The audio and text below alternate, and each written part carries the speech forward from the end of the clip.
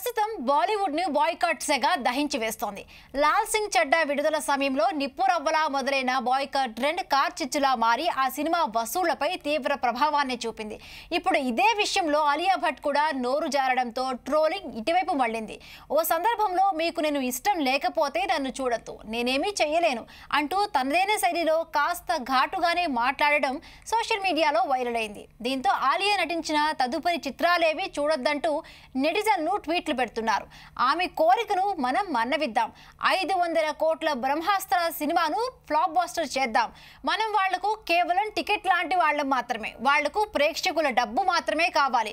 మనం అరవలేదు అంటూ ట్రోల్ చేయడం ప్రారంభించారు. అలియా మాటలతో బాయ్కట్ సెగ బ్రహ్మాస్త్రకు తగిలేలా ఉంది. మొత్తంగా ఐదు వందల కోట్ల ప్రాజెక్ట్ ఇది. ఇంత పెద్ద సినిమా విడుదల ముందు అలియా మాటలు ఆ చిత్ర యూనిట్కు తలనొప్పిగా మారాయి. సినిమా విడుదలకు ఇంకా సమయం ఉండడంతో ఇది మరుగున పడుతుందా లేక నివురుగప్పిన నిప్పులా ఉండి బ్రహ్మాస్త్రకు సెగ తగులుతుందా చూడాలి మరి.